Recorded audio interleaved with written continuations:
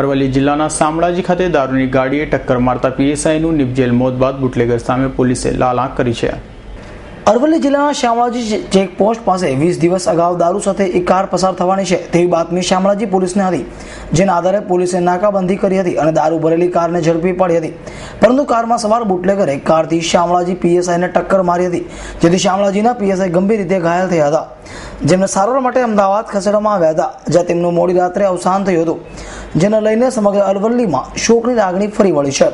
જ્યારે પીએસઆઈ એ કે વાળા નારાજકા ગામે આજે સવારે પોલીસે દ્વારા ગાર્ડ ઓફ ઓનર આપવામાં આવ્યું હતું અને ત્યારબાદ અંતિમ ક્રિયા કરવામાં આવી હતી.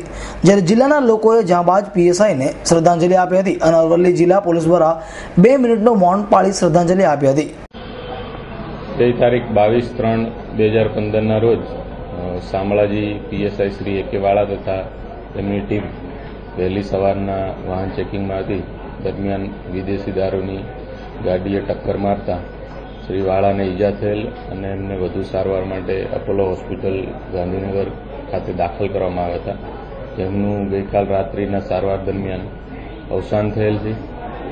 આ આપણા સૌ માટે ખૂબ જ દુઃખદ ઘટના છે અને શ્રી વાળા જેવા કર્તવ્યનિષ્ઠ અને ભાવસ અધિકારીની અરવલ્લી જિલ્લા પોલીસ અને ગુજરાત પોલીસને કોટ ચાલશે હું શ્રી વાળાએ આપેલ સેવાને બિરદાવું છું અને આ દુઃખદ ઘટના સહન કરવા માટે ઈશ્વર આપણને સૌને, એમના પરિવારજનોને શક્તિ આપે અને શ્રી વાળાના આત્માને શાંતિ આપે તે માટે પ્રાર્થના કરું છું. અરવલ્લી જિલ્લા અને રાજસ્થાનની સરહદે આવેલ શામળાજી ચેકપોસ્ટ ઉપરથી અનેક બુટલેગરો દારૂની હેરાફેરી કરી રહ્યા છે.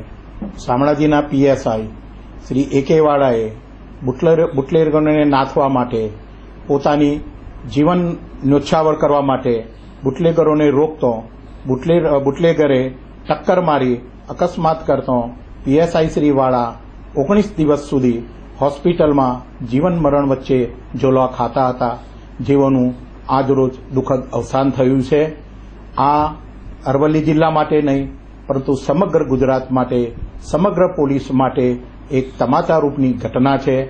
આવા બુટલગરોને સરકારશ્રીએ કડક હાથે દાબી દઈ, આવા આવા લોકોને જબરદસ્ત સજા મળે, ફાંસી મળે, એ માટેના પ્રયત્નો કરવા જોઈએ, એવા કડક કાયદા બનાવવા જોઈએ, અને એવી જો ઢીલાસ રહેશે તો સમગ્ર અરવલ્લી જિલ્લો નહીં, પરંતુ સમગ્ર ગુજરાતના પોલીસના મોરલ ઉપર ગંભીર અસર થશે.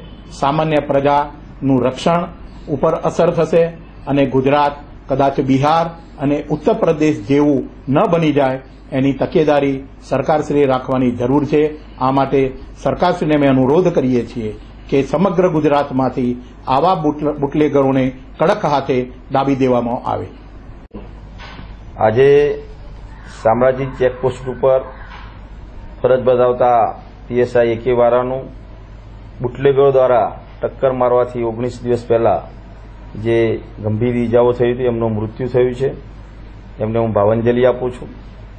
રાજસ્થાન અને ગુજરાતને સરહદને જોડતું શામળાજી પોલીસ સ્ટેશન અને બુટલેગરો દ્વારા દરરોજ બેફામ વિદેશી દારૂ ગુજરાતમાં ઘુસાડવામાં આવે છે અને આવા જાબાબ ઓફિસરો દ્વારા દારૂને રોકવા માટે એમણે પ્રયત્નો કરેલા અને એમને ટક્કર મારી બુટલેગરોએ આજે ઓગણીસ દિવસ બાદ એમનું મૃત્યુ થયું છે. ત્યારે સરકારશ્રીને મારી નમ્ર વિનંતી છે કે આ સરહદ ઉપર ઘૂસણખોરો અને આ બુટલેગરો દ્વારા દારૂ ન ઘુસાડે તે માટે કડક કાર્યવાહી કરે.